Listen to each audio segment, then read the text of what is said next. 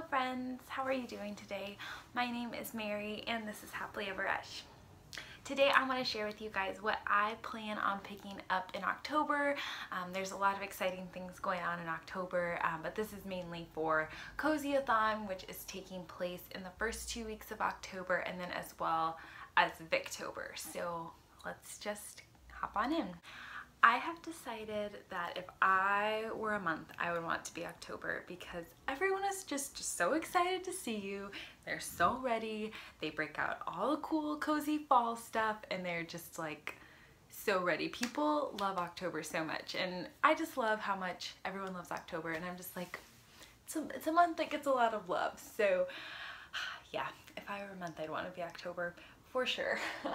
but I'm excited to share what I plan on reading with you guys um, and then I hope to chat with you about what you're picking up for all the different fun readathons that are going on this month. So the first thing that I would like to pick up is I'd Rather Be Reading a Library of Art for Book Lovers and this is by Genevieve de la Mare um, and it's just a really cute little book um, with some really beautiful pictures like bookish pictures in it so there's like illustrations photography um, and then there's just like essays sprinkled in um, just about the love of reading and books and if that is not cozy, I don't know what is. So I'm excited and it's really short and I think it'll be just a fun one to pick up this month.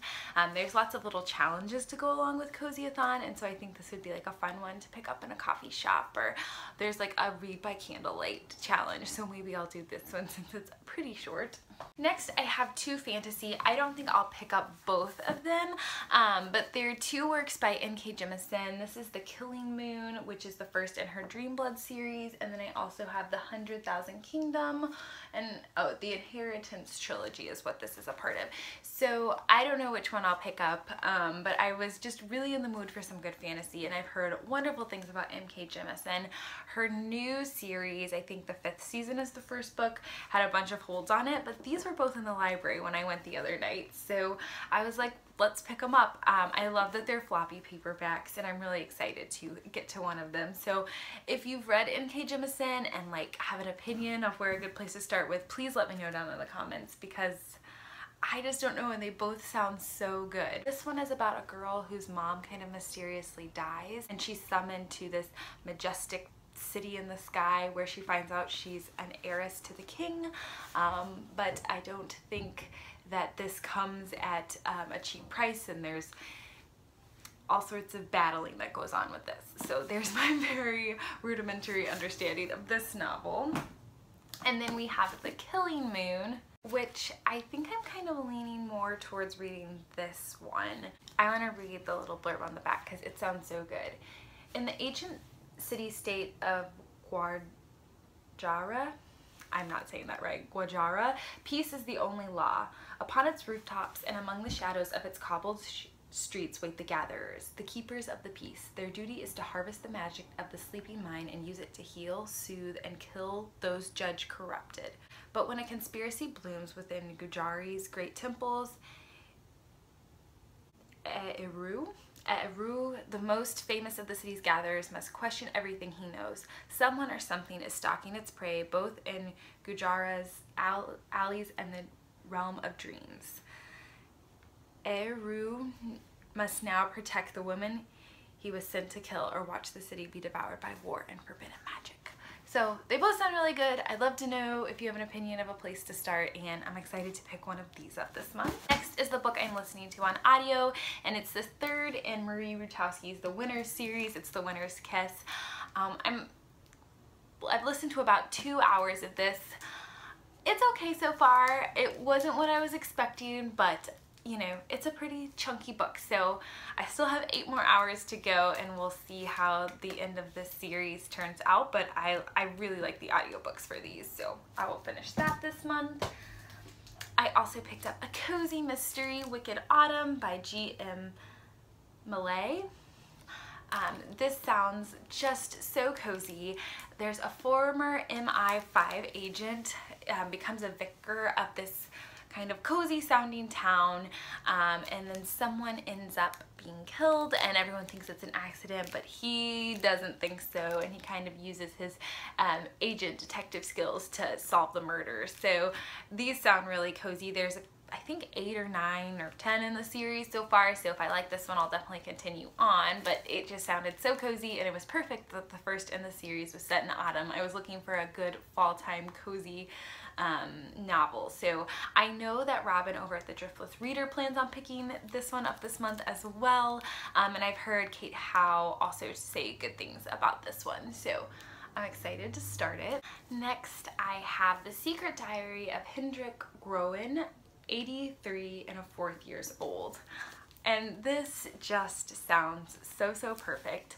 I have to read you this paragraph because, I mean, bored of weak tea and potted geraniums, Exasperated by the indignities of aging, Hendrik has decided to rebel on his own terms. He begins writing an expose, secretly recording the antics of day-to-day -day life in his retirement home, where he refuses to take himself or any of his fellow inmates too seriously. So this just sounds so sweet. Hendrik Groen is like a pen name for someone who's been writing this blog and now has wrote this novel. Um, and it says there's not one sentence here that's a lie but not every word is true. So it sounds like it's very much based on real life experiences and this just sounds so sweet and so cozy. I thought this was perfect for the cozy-a-thon um, and I'm excited to read this one. I think it'll probably be a pretty quick and like endearing read so excited about that and then the last one I plan to pick up for Victober, and that is Far from the Maddening Crowd.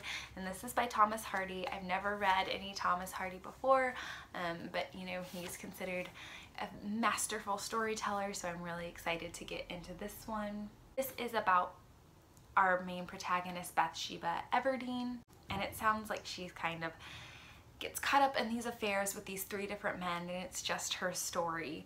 And so I'm very, very excited. It sounds like it has a lot of feminist themes um, and just, I've never read any Hardy, so I'm excited to try it. So those are all the books that I plan on picking up this month. We'll see if I get to them all. I have a lot more out from the library, so I might interchange some things here and there, but these were all the ones that were really kind of tickling my fancy. I'm really bad at TBRs, like really bad at TBR, so I will be impressed if I read two of these. Um, but I, I, have very strong feelings towards them all right now, so we'll see how that goes. Um, I would love to know what you guys are picking up this month. If you're doing Cozy-a-thon, if you're doing Victober, please chat with me down in the comments or let me know if you've done videos for any of these. I'd love to check them out. Um, I'm just so excited for this month for Cozy-a-thon and Victober and then Mercedes over at Mercy's Book Bookish Musings is having a readathon later in the month. I know Dewey's 24-hour readathon is happening, as well as Lauren from over at Lauren and the Books is having her cozy reading night. So I'm just excited for all the reading love. I can't wait to, to dive into some of these books. Um, and like I said, I'd love to know what you're reading and I'd love to chat with you about any of these books that I mentioned or any books that you plan on picking up in October. I hope that you guys are having a great day. I hope that you have been having a great beginning of fall um, and I will talk to y'all very soon. Bye.